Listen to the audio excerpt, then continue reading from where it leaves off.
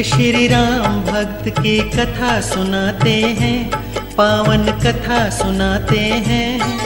बजरंग बली उस महाबली की गाथा गाते हैं, हम कथा सुनाते हैं। हम एक महात्यागी के गुणों की झलक दिखाते हैं, पावन कथा सुनाते हैं। बजरंग बली उस महाबली की गाथा गाते हैं हम कथा सुनाते हैं।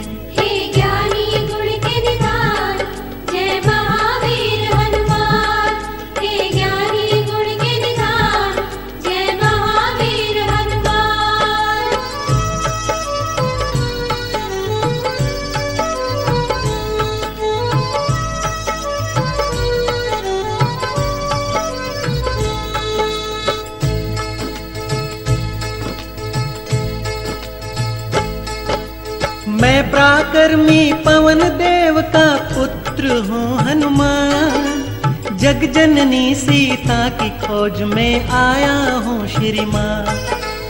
आप कौन है भक्त निराले हम न जान पाए। इतना सुन भी भीषण की आँखों में आँसू आए। जैसे जीवा दांतों के बीच में जीती है जीवन। असुरपुरी में मैं रावण का भाई हूँ विभीषण। खो गए दोनों राम के गुणगान गाने में। प्रेम के आँसू झड़ने लगे वह मन बहलाने में। भक्ति में होती है शक्ति, ये तो भक्त बताते हैं। बजरंग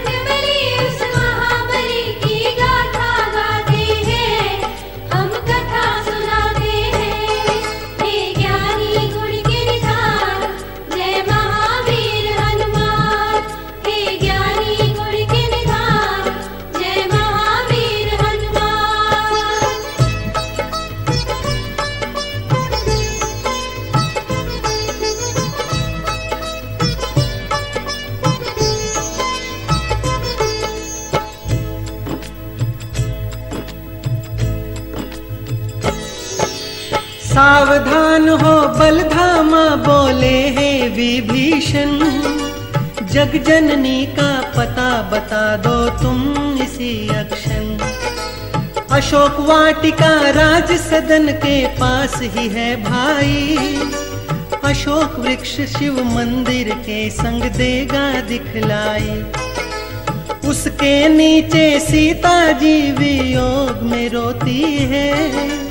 जटा बन गए उनके केश और मैली धोती है। अनजल के परित्याग से उनकी पीली हुई छटा।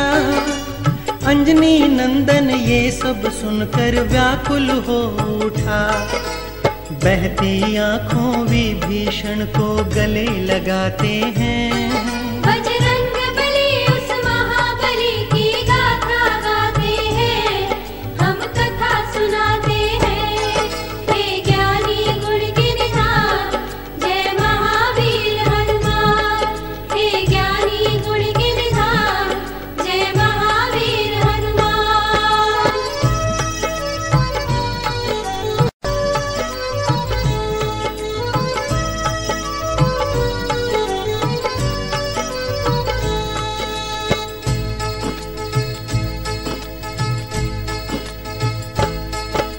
ब्रह्मबेला की सभी असुर जब निद्रा में थे मस्त, राम परायण पहुँचे वहाँ पर बिन बाधा, बिन कर चुपके से वो अशोक वृक्ष पर छिपकर बैठ गए, करके दर्शन सीता माँ के बड़ प्रसन्न हुए।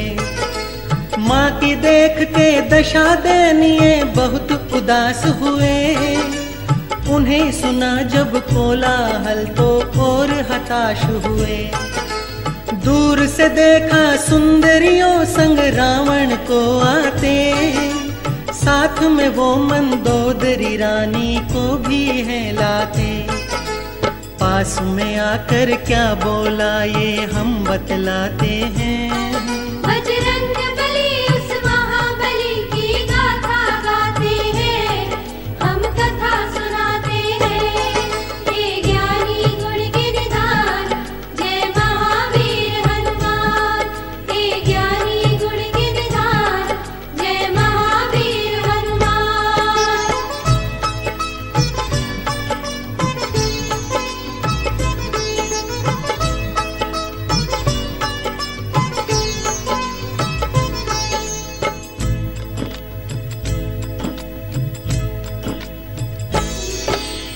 जनक नंदनी, तुम हो मुझमें व्यर्थ में डरती हो।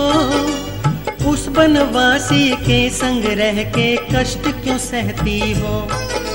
मैं तेरे लोक विजेता हूँ, मेरी रानी बन जाओ। उसका आना नहीं है संभव, सुख मेरा पाओ। मैं चाहता तो बल से तुझको ग्रहण कर लेता। प्यार से तुझको चाहने वाला कष्ट नहीं देता। सुंदर सीता निर्णय कर ले, हम तुझे पाएँगे। एक बार से तेरे शरीर को गिद्ध ही खाएँगे। राक्षस शब्द सिया दिल को घायल कर जाते हैं।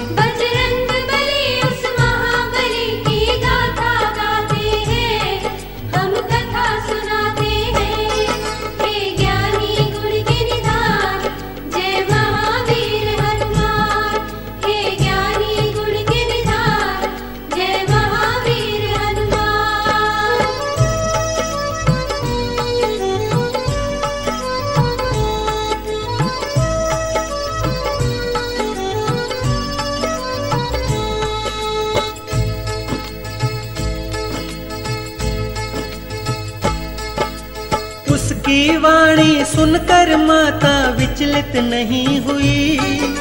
बोली, मेरे नाथ के आगे हिम्मत क्यों ना हुई? देख के उनकी गैर हाजिरी तू मुझे चुरा लाया। दुष्ट नीच नारी के आगे तू शेर बन के आया।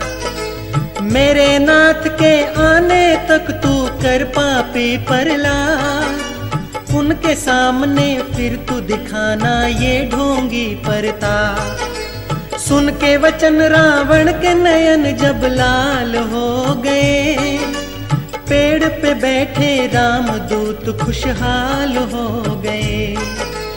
हाथ में ले तलवार, दशानन रोब जमाते हैं।